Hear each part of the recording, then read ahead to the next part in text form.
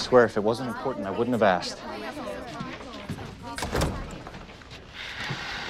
We're doing what we can. The phone company's completely overloaded. Actually, Lois, this is more of a security issue. Certain calls may have been made using the code words Los Angeles. Lois, have you heard anything about them opening a West Coast office? You know I'm not allowed to talk about what I hear in there. You can tell us. It's not going to hurt you. We'll Willie owe you? Well,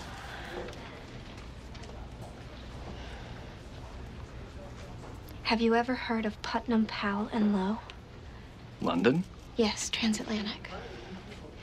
Mr. Phillips has made a deal for them to buy Sterling Cooper. No. No. It's done. They take the keys Friday. Are they purchasing Sterling Cooper? Or are they combining with them? It's a merger.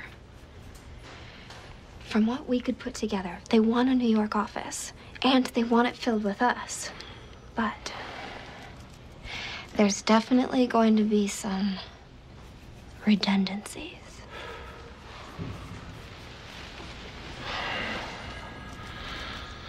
Thank you. Wait a minute. If any of you gets to stay, one of you has to take me off the switchboard. Of course. If